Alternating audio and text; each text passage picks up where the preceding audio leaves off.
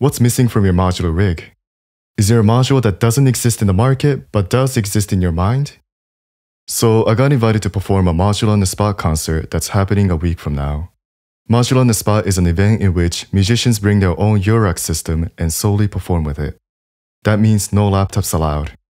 And for this particular upcoming event, guitar pedals are not permitted either. The email also informed me that all of the musicians that I respect are coming, and my family members were tracked down and invited to attend. So the pressure's on. But this sounds like an exciting opportunity as well. I immediately replied with a big ol' yes and ran towards the studio to start rehearsing, only to realize that my modular rig is not performable on its own. When I got into the world of Eurorack Synth, my intent was to design custom controllers to perform great sounding modules. So that's why the rig on its own is missing a bunch. Obviously, there's no reverb, there's no module that can send quantized CVs to rings. Also, it would be nice to have a delay. And finally, bass synth is missing too. At this point, I'm starting to feel panicked. I don't have that much time to research modular synth forums to make sure that I order the right modules. Either way, I don't have too much on the budget at the moment to order like 5 modules. And I also need to make sure that I'm rehearsing plenty to put on a great performance so that I don't disappoint anybody. As the pressure became unbearable, it appeared. A module that has the potential to be exactly what I needed. This is Patch Init by Electrosmith. Let's see if it can save the day. Quick disclaimer, Electrosmith sent this module over, so this video is sponsored in that aspect. But I didn't ask anything more for this overview. Also, I'm going to be transparent and honest, so I'll talk about both the pros and cons. With all that being said, I'm extremely grateful for their support. Okay, let's begin. It wasn't technically a hyperbole when I said that this module is exactly what I needed. Patch Init can run custom programs that are written in Pure Data, MaxGen Tilde, Arduino, and C++. For example, I can put together a delay Pure Data patcher and put it inside of this module. Once the patcher is embedded, I can control it with these knobs, CV and gate inputs, a button, and a toggle. This module also features stereo ins and outs, LED, 1CV output, and SD card input. So I can potentially create a stereo delay module. The delay time and feedback could be controlled with CV inputs, and the knobs can be used as attenuators. So the goal is to fill in all the missing pieces of my modular rig with the patch init. But first, I need to understand how to use it. The most logical first test is to make it beep. I need to install all the necessary software before I can begin. Then plug the USB and press these buttons. And after following this step in the terminal, I should be able to upload a Pure Data patcher into this module. The patcher simply consists of just the sine tone and the DAC tilde, so I should hear a beep. Cool. Okay, what's next? Well, I just realized that they provided an example patcher, so let's check it out. Alright, what's up with all these CTRL objects? I think these correspond to the hardware inputs, which are the CV inputs and knobs. It does say CV1 under this knob, so my guess is that knob number 1 corresponds to the control 1 object. And judging by how knobs 3 and 4 are connected to the gain of the oscillator like this, the output of control objects should be 0.0 to 1.0. Okay, let's analyze the signal flow. Knob 1 controls the pitch of a sine tone, and knob 4 controls the volume of the right channel. Knob 3 also controls the volume, but the signal goes into another gain object. So this second gain object is used to create a short envelope that is activated by a gate. And it's using gate 1 input.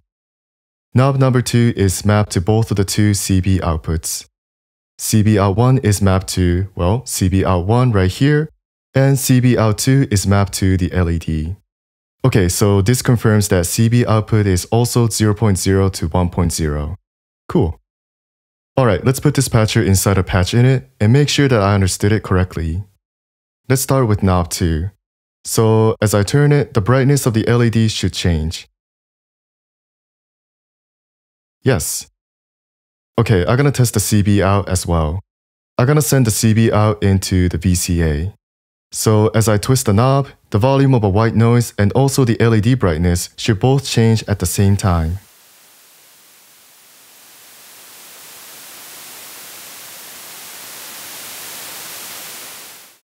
Knob 1 and knob 4 are working as expected.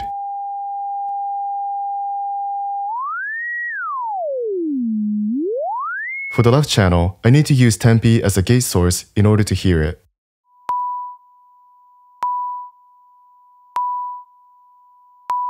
Cool. This example patcher didn't include any object to test the CV inputs, so let's just copy and paste this part of the patcher and replace the 1 with 5. I'm gonna map the CV from chance to the pitch. Perfect. Okay, I think I'm ready to start thinking about what patcher I need to create for the performance. I would like to include a pre-made reverb such as Rev3 tilde. Also, I'm gonna need to create a melody generator and map it to CV out. And that quantized pitch CV will be patched into rings. And I would like to apply a delay effect to that synth. Finally, I would like to have a synth bass that changes note every few measures. All the rhythmic patterns and clocking will be taken care of by Tempi. Alright, I'm just going to put the whole patcher together and hope for the best. Wish me luck. Okay, aside from a few bumps on the road, I was able to embed the patcher successfully into PatchInit. So what were the bumps on the road, you may ask? VCF tilde that I was gonna use for the bass didn't work, which I need to look more into in the future. While Rev3 tilde worked nicely, it was a bit too heavy. PatchInit does have a size limit, which I'll go over in more detail near the end of the video. I was able to use Rev2 tilde, which was much lighter and still sounded good enough, Aside from those, it was just a matter of being patient and going step by step, which I recommend you do as well. Alright, so let's listen to this thing in action. This patcher can play a repeating pattern of C, E, D, and A. These values correspond to those pitches as CV. And you can reference this tutorial to understand how I got these CV pitch values. I'll also include a supplementary text and diagram right here too. And I'll patch the CV out into Ring's pitch CV input and the note changes every time gate 1 receives a trigger. So let's send a gate from Tempi.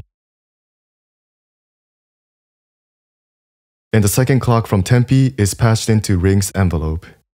Okay, it's gonna sound very simplistic at first, but trust me, it'll get more interesting. So by making gate 2 of Tempi faster, we can achieve a ratcheting effect.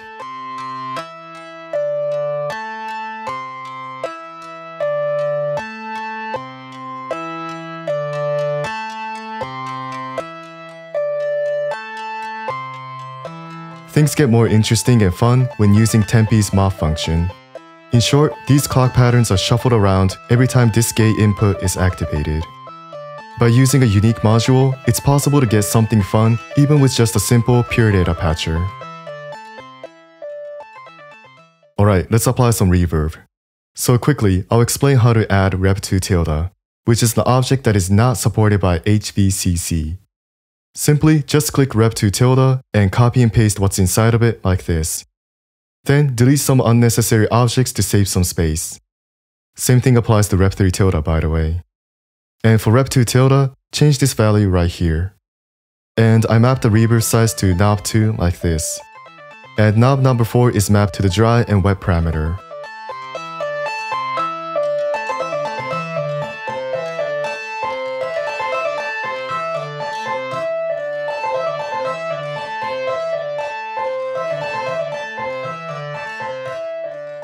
Let's talk about bass next.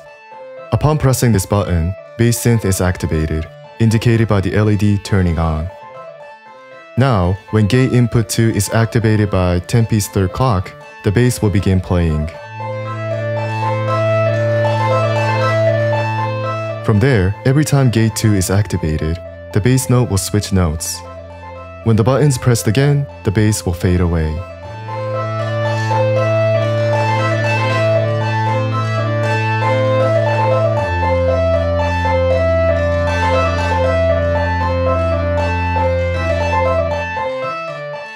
Okay, now we can talk about the delay effect.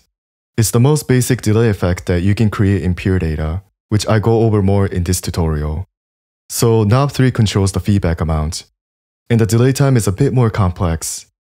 So what I did is use the length of time between each clock trigger that's coming into gate 2 and using the division of that length for the delay time. For example, if the time between each clock trigger is 1000 milliseconds, the delay times can be 1000 milliseconds, 500 milliseconds, 333.333, 250, or so on and so forth. Therefore, the delay time will be rhythmically be in sync with Tempi's clock.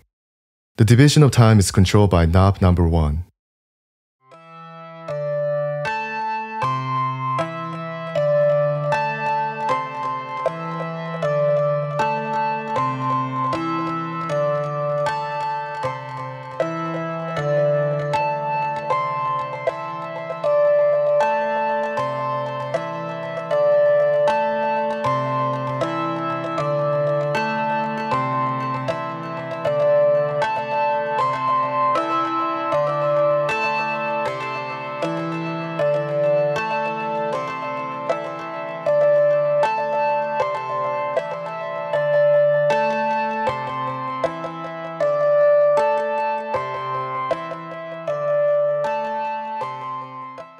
Finally, audio input 1, which is going to be used for rings, goes into the delay effect.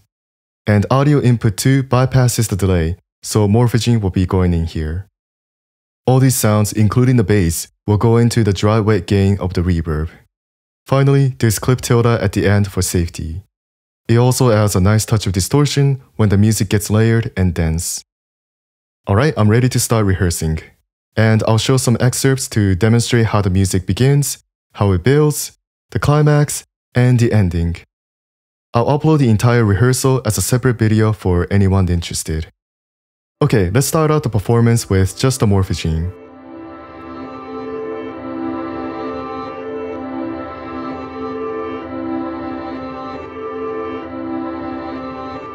And we'll add rings into the mix.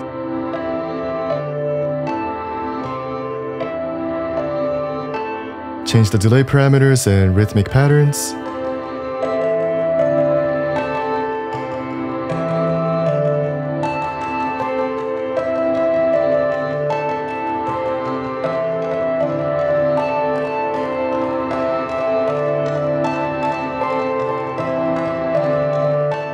Let's add the bass.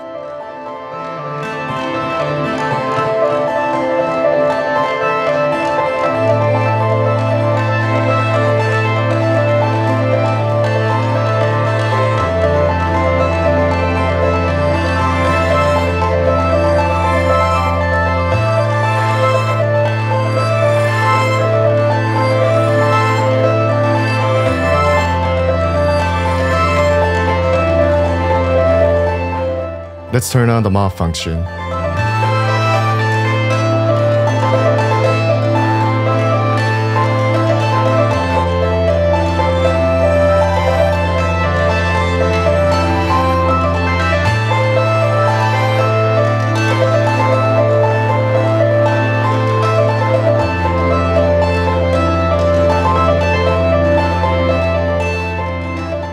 Cool, we got a nice loop happening here and let's make it dance for the climax.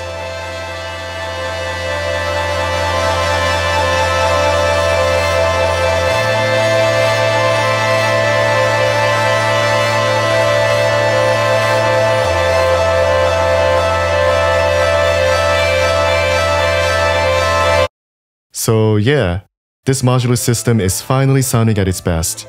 Seriously, it was exhilarating to hear it come together when performing with it for the first time. Patch Init in all honesty filled in the missing parts of the system and made it fun to perform. Success! So this module with a small HP did 5 different things at once and glued my system together. And this all happened in like a day or two. I can of course continue to build upon this. For example, instead of programming the melody and bassline in pure data, perhaps I can use the keystep and play the notes into one of the CV inputs of patch init. Or I could simply start from scratch again. So there are two main ways that I could recommend this module. As I see from my own experience, Patch Init is a module that can potentially fulfill your very specific need, as long as you have the imagination and enough programming experience to achieve it. So ask yourself, what's missing from your modular rig, no matter what size your system is? Is there a module that doesn't exist in the market but does exist in your mind?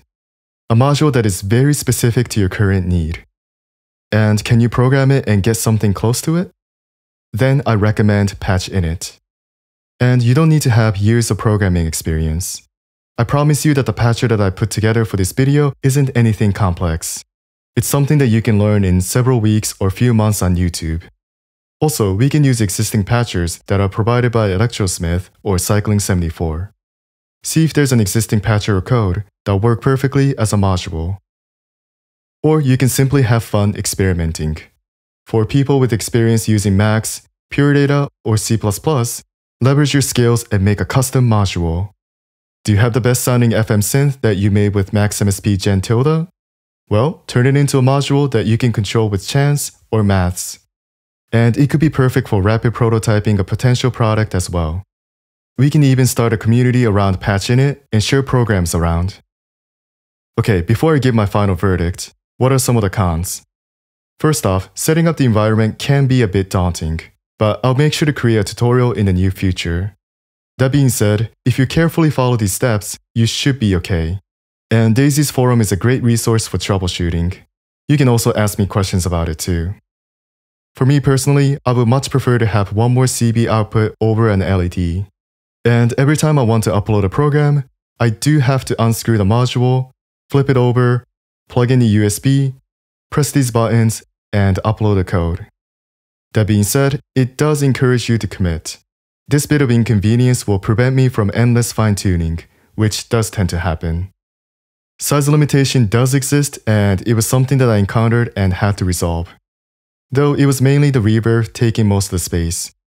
So I could buy a module like Qu-Bit's Aurora, which is also powered by Daisy. And one last thing is that the power cable is protruding out towards the right side.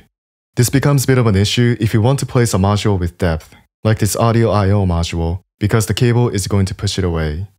It's not an issue if you place a module that is thin. For example, I can place Morphagene next to it just fine. Are any of the cons a deal breaker? For me personally, not at all. But I still wanted to inform you my experience.